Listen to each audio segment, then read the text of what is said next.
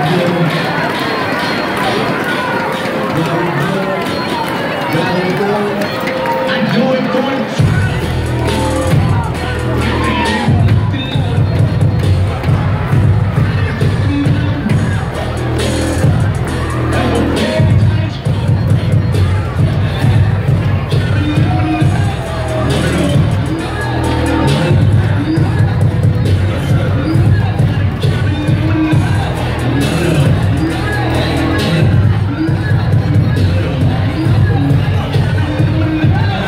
saying them boys will never lead up, dribble long.